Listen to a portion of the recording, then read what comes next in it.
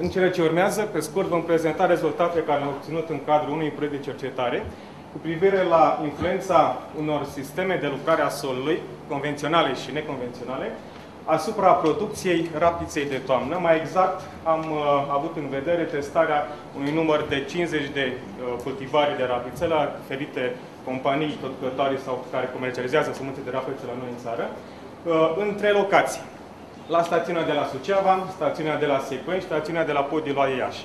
Am ales cele trei locații din zona de interes a proiectului datorită condițiilor pe doclimarce diferite pe care le găsim în uh, acele zone.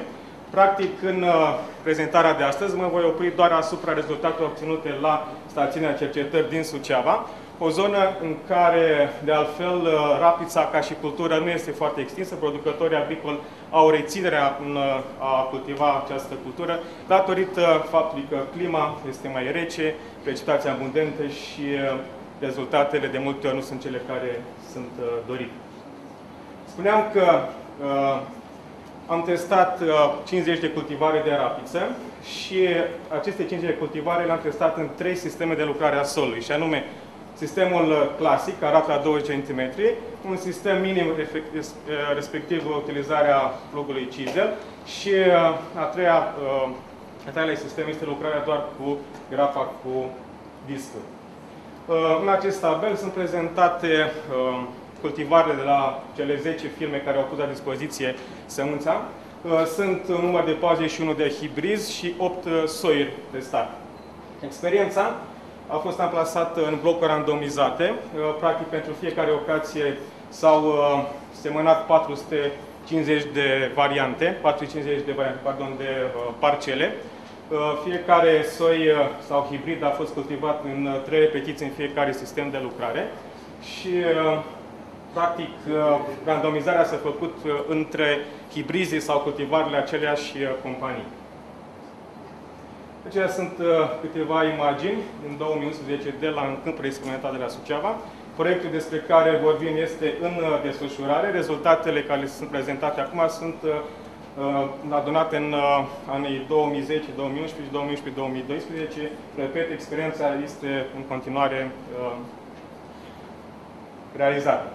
Ca și tehnologie de cultivare, pe baza care s-a făcut eficiența economică care o prezentăm în continuare, a fost, uh, tehnologia a fost identică pentru toate variantele experimentale, cu deosebirea sistemului de prelucrare uh, inițială a solului. Practic, pentru toate cele 450 de parcele s-au administrat cantități egale de grășăminte, pesticide și așa mai uh, departe. Uh, practic, uh, pe baza acestor date, pentru fiecare variantă în parte, s-au realizat uh, fișe tehnologice în care s-au uh, luat în calcul toate inputurile la prețurile reale ale pieței. Practic, uh, ulterior, pe baza acestor calcule s-au uh, elaborat programe de eficiență economică, repet, pentru fiecare hibrid și cultivar, pe fiecare variantă în parte, după care calcul statistic și indicatorii economici care i-am avut în vedere.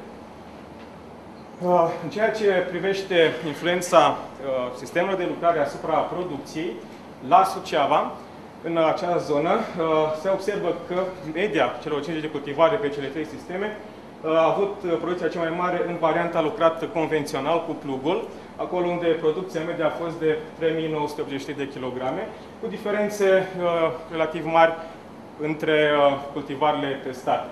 Producții mai mici s-au obținut, sau cele mai mici, în varianta lucrată cu grapa cu discul, cu diferențe asigurată statistică între variante.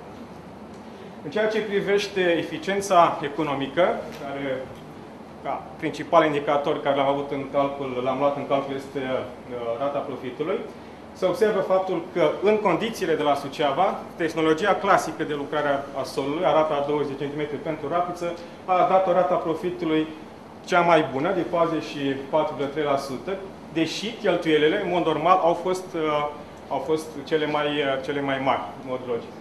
Uh, diferența, practic, dintre variantele experimentale se datorează pe de o parte consumului de carburant, iar pe de altă parte uh, decimei de semănat și a prețului semințelor, practic, care diferă de asemenea și el foarte mult de la o firmă la alta. În acest tabel, uh, nu am să insist foarte mult, sunt prezentate producțiile pentru cele 50 de uh, cultivare luate în studiu, ca medie pe toate cele trei sisteme de lucrare a solului.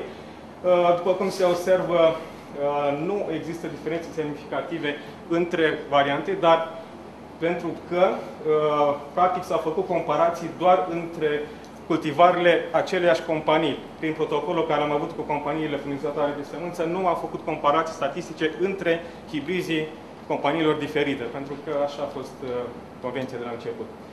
Uh, producțiile au oscilat de la 3.000 de kg până la 4.000, 4.100, 4.200 kg la hectar. Producție, de asemenea, foarte bună. La fel, uh, eficiența economică, pe fiecare cultivar în parte, sunt prezentate rezultate în acest tabel. Uh, nu insistăm foarte mult pe comentarii, că ar trebui să ia foarte mult timp. În, în concluzie, ca să ajungem la concluzie. Practic, în zona în care am efectuat experiența, la Suceava, după cum am spus și uh, adineauri, rezultatele cele mai bune vis-a-vis -vis de producții și rata profitului s-au obținut în variantele clasice. Dacă facem o clasificare a cultivarelor, producțiile maxime s-au obținut uh, pentru hibrizii companiei Pioneer, respectiv PR46 V30, de asemenea producții mari PR44 V29, Judy, Turan și așa mai departe. Mulțumesc foarte mult!